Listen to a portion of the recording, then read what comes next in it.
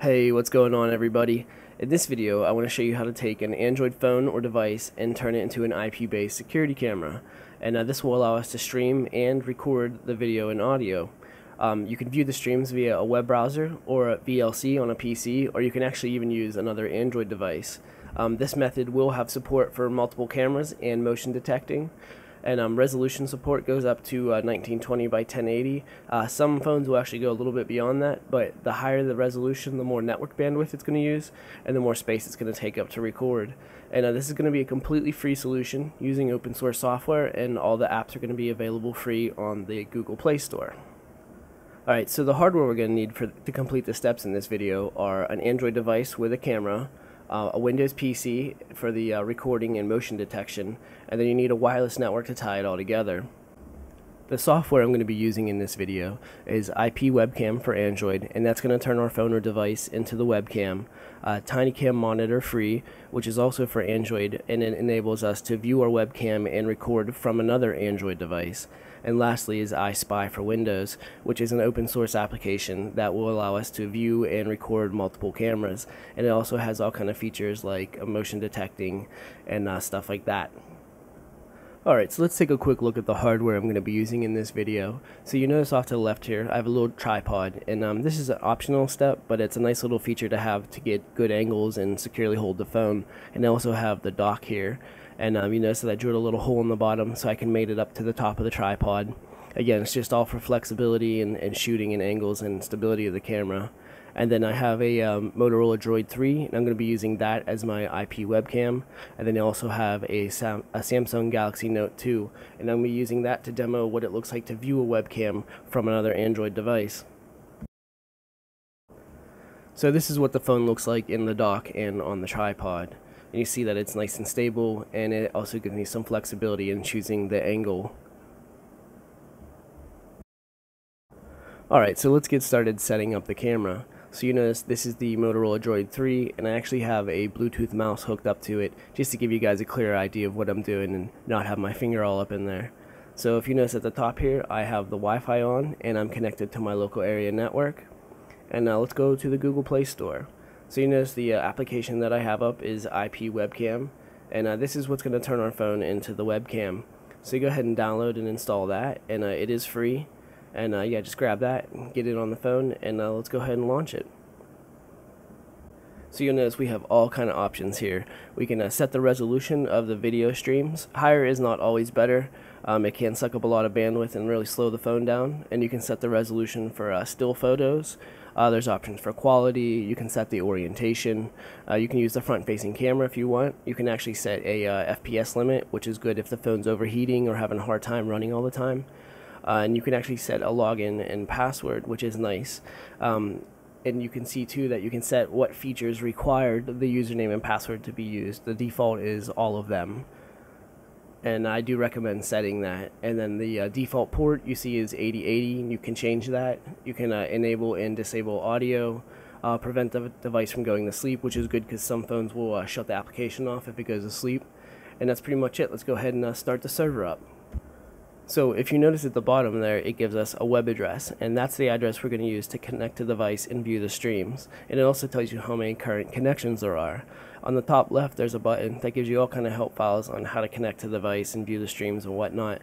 And then there's an actions button on the top right that allows us to stop the server and do some basic functions. But that's it, the camera is now up and running and streaming. Alright, so let's go ahead and test out the stream. So I, go, I went ahead and put the camera where I wanted it, and I'm now on my Windows 7 desktop. And I'm going to go ahead and pull up a web browser. And we want to type in the IP address of the device and specify port 8080 by doing colon 8080. And uh, this is the same address that it gave us at the bottom of the IP webcam app. And you see that it prompts us for a username and password and it successfully logs us in. And we have all kind of options of how we want to view our stream. You can do uh, VLC, you can do Java, you can do JavaScript. Let's go ahead and try out the VLC one. So I'm just going to open with VLC and click OK. So you see that it prompts us for our username and password. I'm just going to enter those, click OK. and we see that the stream is indeed working. And um, you see there's not really a whole, whole lot going on there, but um, at least we know that the stream's working. So I'm just going to go ahead and close out of that, and uh, let's try another method. And uh, let's go ahead and try the JavaScript one. And you see that it says this will work on the uh, PlayStation and Wii. But uh, it's the same thing, just viewing it a little bit different way. And uh, let's go ahead and go back. And you see there's a couple how-tos for um, how to connect up to uh, the TinyCam monitor for Android and the IP cam viewer. And uh, if you notice this URL down here, the MJPEG one, uh, this URL becomes important later on when we're tying into third-party software. Alright, so now let's go ahead and see what it looks like to stream to an Android device. So I have my Samsung Galaxy Note 2 here, and I also have the Bluetooth mouse hooked up to it. And um, I'm going to be using the TinyCam Monitor Free, which is available on the Google Play Store. So uh, you can just go ahead and add another camera by clicking the Add Camera button. But I already went ahead and set up my Droid 3 on it. So we're just going to go and check out the settings for that. Now, um, there are some important things to note here. For the camera vendor, you want to select IP webcam for Android. And then we can cancel that. And you see there's all kind of options for other cameras as well. But And we're going to set the camera model to generic. And then for the host name, you want to set the IP address of the webcam, which is the address that it gives you at the bottom of the uh, IP webcam software. And we're going to use the default port of 8080 and then you can also set your username and password settings if you're using those here. And you notice that there's other options for audio motion detecting recording where you want to record to and uh, other settings for like SSL and stuff like that. But that should be it and let's go back and let's check out the live view. And you see that we can successfully see our camera. And if you go ahead and tap on that it'll go full screen and uh, we see the world's sleepiest dogs but uh, that's it, so we now have it successfully streaming to another Android device. Alright, so for the last part of this video, we're going to go to install iSpy. And you can go to ispyconnect.com and download it for free. It's open source software. And uh, this is what we're going to install on our Windows machine that's going to allow us to record and enable the motion detecting to record from our IP webcam. Alright, so once you have the software installed, go ahead and open it up and on the top left hand corner you'll see the add button and we can add our IP webcam there. Now you can add all kinds of other webcams as well. It doesn't have to be an Android one.